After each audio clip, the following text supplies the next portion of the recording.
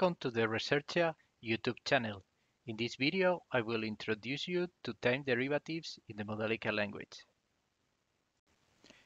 In this video, I will try to explain you how to use time derivatives in Modelica and Open Modelica.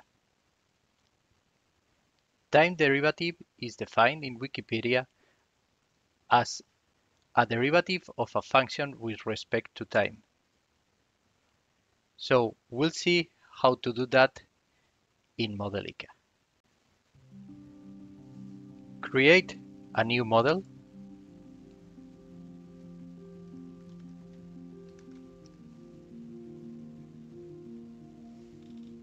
Go to the text view and start by defining this set of real variables.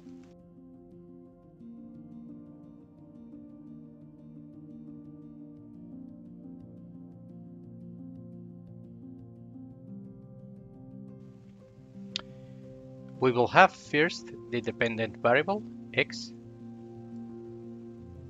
a function of x,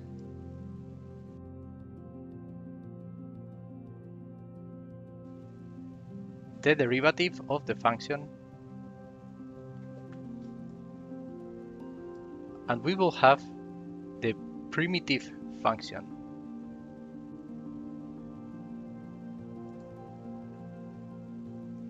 Now, we will make x a function of time.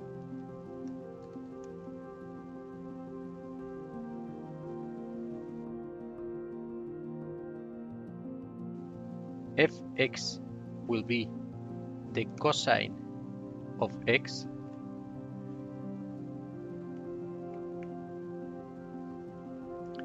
ddx ddt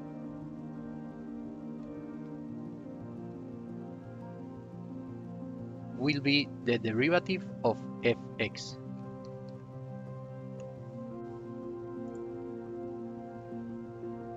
The operator der available in Modelica computes time derivatives. We can use it as well to find primitive functions or antiderivatives. For doing so, in this case, we declare the operator der of capital Fx equals to Fx. This way, we tell Modelica that the derivative of our capital Fx equals Fx. Therefore, we will obtain the antiderivative of fx, We need capital Fx. Simulate now for 10 seconds. And you can plot x which shows how the time increases from 0 to 10 fx is the cosine of x.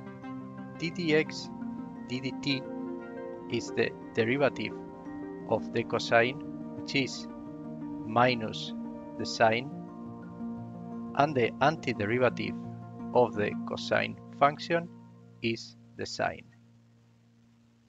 Thank you so much for watching and see you in future videos.